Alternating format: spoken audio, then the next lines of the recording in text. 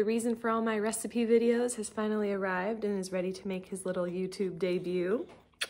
This is baby Jack. And we thought we would show you guys what homemade gifts were made for our Christmas gift exchange this past year. It's taken me a while to get around to the footage, but I hope you can understand why.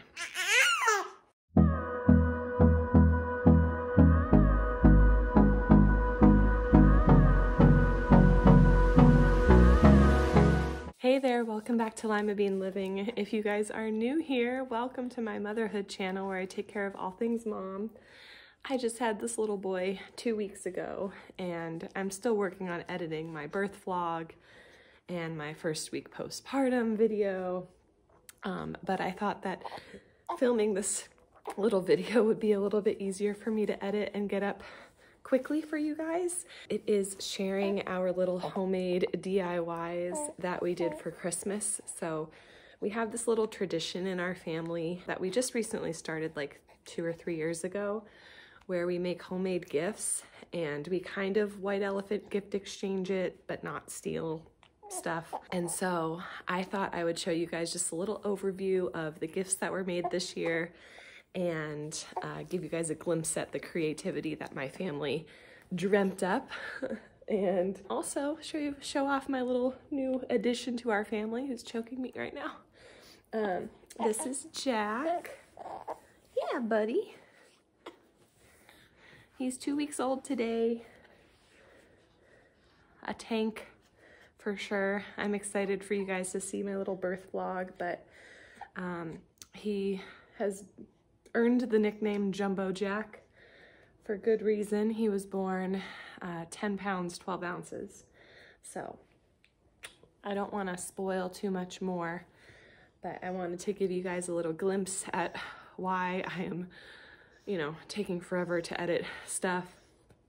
And hopefully I won't really need to take a break from my videos, but if I do, this is why.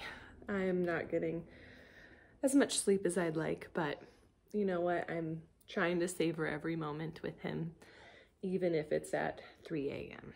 So anyways, let's get into these Christmas gifts. I hope you guys enjoy them and are inspired by them if you want to try to make something similar for yourself.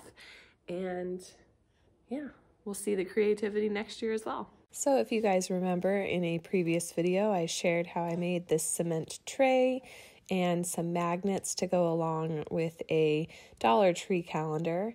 My dad made these like wooden candle holders that you could assemble in a cross or put them all together. My niece made this little, um, I think it was pastels, this little like starry night. I believe my uncle made like pork chops or like some type of dinner dish, and then he also made like his homemade sauce. My sister made this for her daughter to participate, and I actually ended up winning uh, the glitter cup for a third year in a row. My brother in law made this like gun piece thing. I don't really know how it works, but he assembled this. My mom crocheted a blanket, so she submitted this to be part of the little giveaway. And my sister in law made these cute little ornaments. My brother did like etched glass, and I think he got this like jar in Sweden or something. My aunt uh, is a quilter and she made this cool bag, and like the little wooden rods can be removed, and so it was like really versatile. My other aunt made this puzzle board um, to kind of like keep your puzzle pieces intact while you're working on them. My cousin and his wife made these little coasters. you guys can hear Jack in the background. Um, my brother made this like photo a collage of like our siblings and our spouses. My sister made this like rosary holder, which I helped cut out uh, the little Hail Mary full of grace saying using my Cricut. So, like, I feel proud that I helped out with that. But, anyways, that's kind of the overview of the gifts that my family created and my latest creation right here. Uh, we'd like to thank you guys for watching today's video and supporting my channel, especially during this pretty busy time.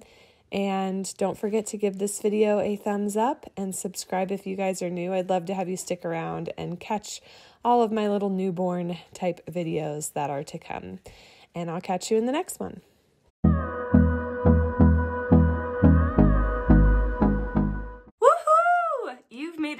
End of the video. If you didn't know already, every Monday and Friday, you can find motherhood and lifestyle content on this channel. And since us moms have to do it all, that may mean yummy recipes, easy DIYs, mom hacks, cleaning and organization, or just a combo of everything. Please know that you are loved and you are made for greatness, and I will catch you in the next one.